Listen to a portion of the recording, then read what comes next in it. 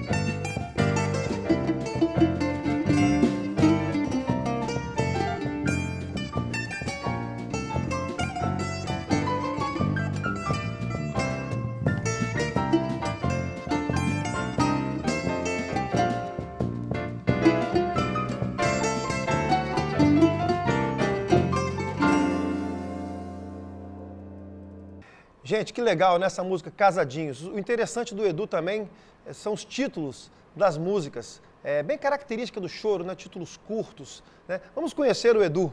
Edu que é natural capixaba de Colatina. Terra quente, hein, Edu? Terra muito quente, muito quente, muito quente. Mas saí de lá muito novo, né? Vim para Vitória e depois mudei para Vila Velha e sou radicado na Vila Velha há 40 anos, mais de 40 anos. Como é que é a sua história na música, né? Quando você começou, como você se desenvolveu e chegou a esse ponto de fazer composições que as pessoas elogiam muito, né? De ter livro lançado e divulgado no mundo inteiro, inclusive. Eu vim de uma família de músicos. Minha mãe é pianista, Alba Martins, inclusive foi bacharelado em piano. E eu comecei há 20 anos a compor, fazia músicas para dar aula, porque eu achava que era muito difícil as partituras que existiam no mercado né? Os songs eram raramente, depois que surgiu essa coisa do songbook, e eu começava a compor para os alunos peças bem simples para que eles pudessem ter condição de tocar.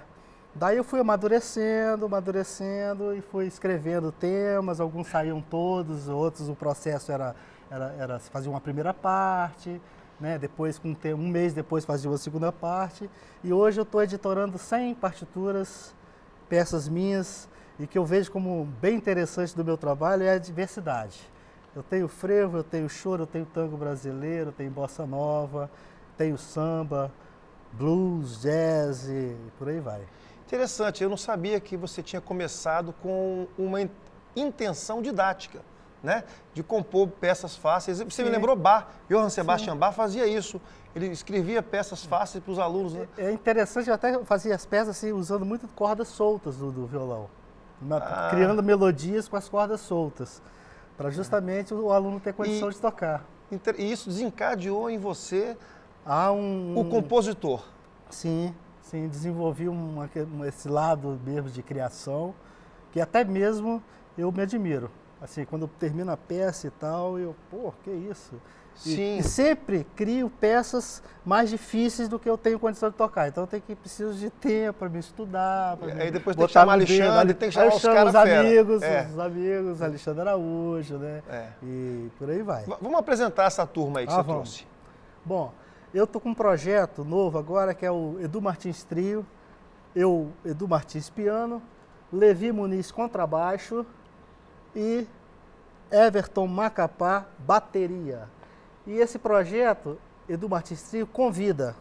E o convidado é o meu parceiro de música, Alexandre Araújo, que me produziu comigo o livro e o CD do que compõe, né? Anexo ao livro. E a gente está na estrada aí, com, querendo propostas de participar dos festivais de música instrumental. Super legal. Parabéns ao Levi, ao Everton. O Alexandre chegou disfarçado, hoje ninguém nem reconheceu, né, com esse boné aí, né? Então, são músicos excelentes. É, o, é o que a gente está falando aqui, né? Quando você compõe em grau de proficiência alto, você precisa de músicos também que tenham essa capacidade de execução. Não tenho dúvida. E o Alexandre foi o primeiro instrumentista do Espírito Santo a executar peças minhas. Porque através do livro, em 2012, eu estava no Rio, passei uma temporada no Rio de Janeiro, Aí liguei para o Alexandre, Alexandre, eu estou com as peças aqui para você dar uma olhada. Aí ele, pô, eu tô, eu tô com uma oficina de choro na FAMES, na Faculdade de Música. Vem para cá. Vim e a gente, eu e ele sentávamos. Porque eu, eu sempre colocava tudo botar choro.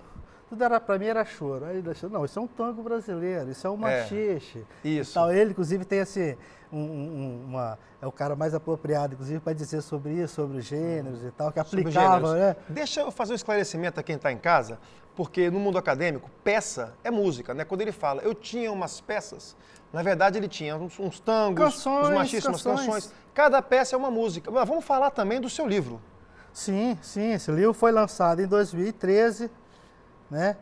Oficina de Choro da Fome apresenta Edu Martins, onde é, tem um CD anexo, um CD anexo com, com as melodias. E para o aluno estudar, né? Tem as, as peças com a melodia isso. Sem melodia. Ele tem esse livro aqui, gente, que foi editado pela FAMES. Editora é, FAMES em é, 2013. Na verdade, rodou no DIO, né, no Diário Oficial, que é a Sim. gráfica do Estado, Sim. a Faculdade de Música do Espírito Santo, Maurício de Oliveira, que é a faculdade pública do Estado. A FAMES fez um pequeno edital, editou algumas obras de alguns músicos e, e professores Sim. e editou essa obra do Edu Martins, que já foi para quantos países? 15 países. 15, 15 países. países. Alemanha e por aí vai, não é? Estados é, Unidos, muito França, bem feito, Nova é. Zelândia, é. Austrália. papel couché, muito bem feito. É, bom, pa parabéns a você, parabéns à FAMES, que ajudou, né? Porque Sim, acho que é. Quero agradecer os parceiros, né, os músicos aqui presentes, a Marília, a você, né, Fabiano? Eu sou muito grato pela claro. oportunidade. A gente é que agradece, né, cara? Porque é, nós estamos aqui tentando é, mostrar o trabalho da comunidade musical capixaba, Sim. né? Que a gente tem alguns canais é, para isso, né? E esse aqui é apenas mais um da música instrumental, né? Que é uma música que não tem canto, né? Então ela tem que ser é, compreendida baseada nela mesma, né? Nas melodias, nas contramelodias, nos baixos e tudo. Mas ok? É, tá ótimo. Edu, parabéns pelo trabalho. Muito obrigado por ter vindo. Muito obrigado a galera Muito aí também, obrigado. toda. Qual a próxima música? Redondo.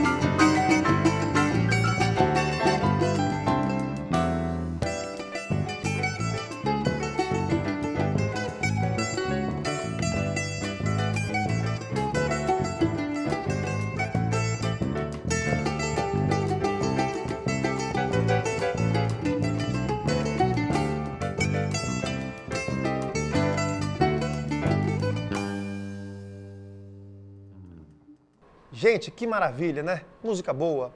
A gente chama de sonzeira, né? Um som legal desse, bem feito, né? Música muito bem escrita.